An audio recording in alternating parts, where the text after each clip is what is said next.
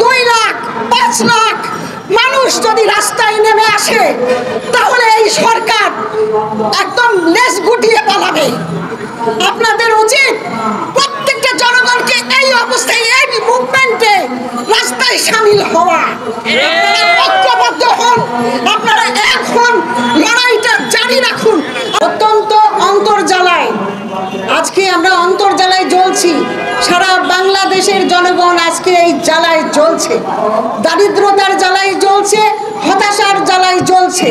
প্রত্যেকে ত্যক্ত বিরক্ত হয়ে গেছে এই সরকারের প্রতি। আজকে একটা ভয়াবহ নৈরাজ্য চলছে বাংলাদেশে ব্যবসায়ীদের ক্ষেত্রে।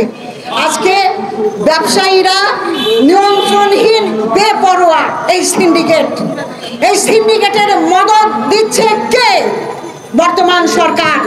এই রাষ্ট্র ব্যবস্থা আপনারা জানেন একটা ভয়াবহ নৈরাজ্য চলছে। কারণ আছে, এ সরকার তো জনগণের ভোটে ক্ষমতায় আসেনি। আসছে তো একেবারেই ডামি সরকার হয়ে। জনগণের দুঃখ তারা বুঝবে কি করে? তাদের বোঝার সে ক্ষমতা নাই, হারিয়ে ফেলেছে সেই ক্ষমতা।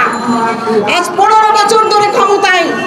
কোনো অংশে না আসছে কোনো অর্থনৈতিক পরিবর্তন, না কিছু। আপনারা জানেন একটা তারা, এই সিন্ডিকেট সরকার এবং মন্ত্রী আমলা গোষ্ঠী এবং সরকার একটা ভোগবাদী ভোটবাদী নীতি গ্রহণ করেছে। তাদের আর পিছনে তাকানোর দরকার নেই।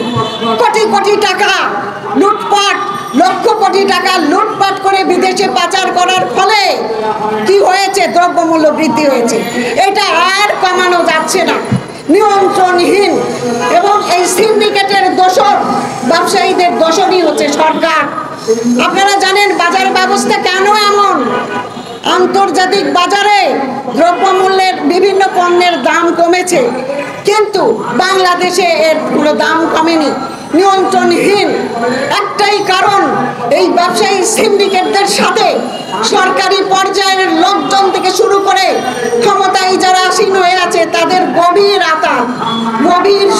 সম্পর্ক।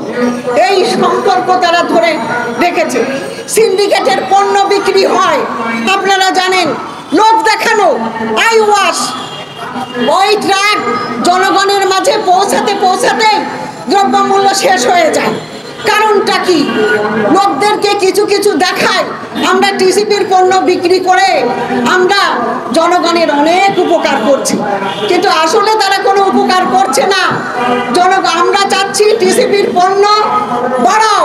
মোড়ে মোড়ে থানায়, মহল্লায়, বিভিন্ন ঢাকার অলিতে গলিতে, জেলায়, উপজেলায় টিসিপির পণ্য বাড়ানো বাড়িয়ে দাও।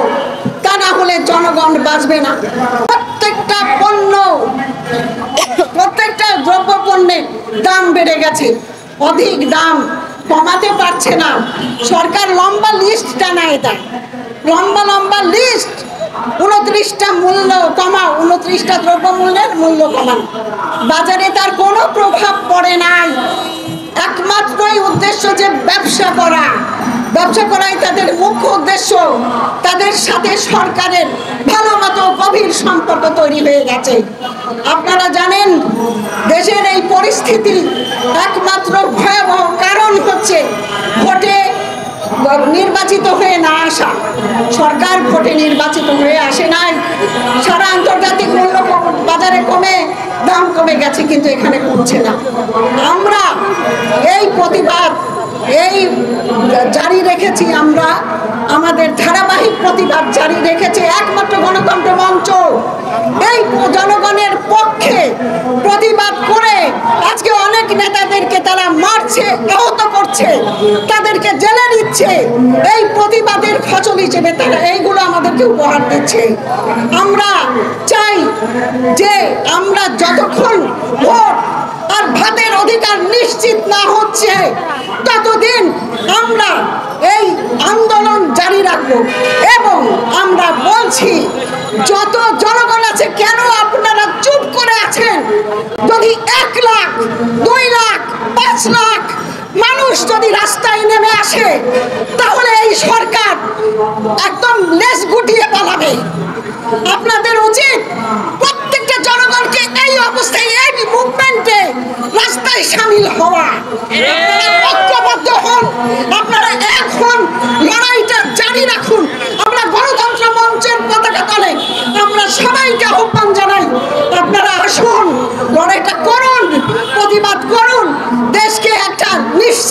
ভবিষ্যতের দিকে নিয়ে চলো।